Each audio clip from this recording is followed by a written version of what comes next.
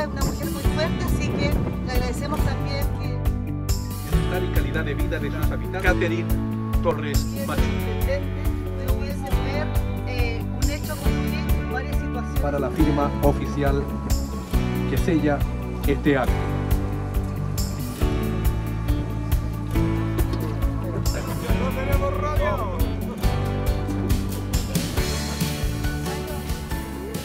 ...2,6 kilómetros que se van a eh, intervenir ahora.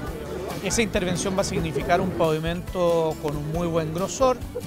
Significa, en resumen, que Obra Pública nos está invitando a claramente a mejorar las condiciones del sector que nos permite llegar a la desembocadura, pero también a Chome.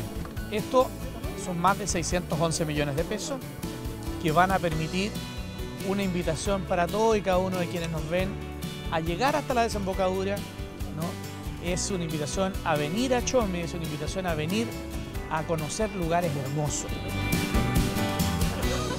Gracias a Dios el año pasado pudimos generar el proyecto como administración municipal y presentarlo para ir en búsqueda de los recursos.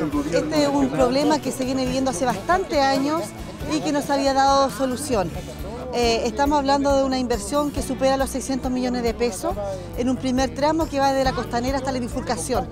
No solamente esto va a mejorar la calidad de vida de los habitantes de acá, de Fondo de las Caleras, de las familias de Chome, de Perone, sino que también de los visitantes, nuestros turistas que vienen de la región del Biobío y también del país y del extranjero a conocer parte del santuario y la península de Hualpén.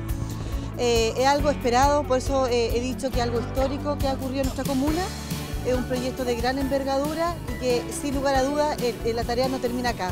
Tenemos que seguir avanzando en poder llegar hasta Chome misma eh, y para ello también ya se están generando todos los actos administrativos, hemos ingresado ya al proyecto y estamos en la etapa de revisión y de observaciones. Estoy contenta por el hecho que ya salió, salió aprobado, ya tenemos un granito de arena ya de, toda la gente que lo apoyó, del intendente, a pesar de la alcaldesa que fue la primera que apoyó, porque estos fueron 14 años de sufrimiento para los residentes y tanto daño a los vehículos también, porque está bien que estemos a otras manos, pero también pertenecíamos a Golpe.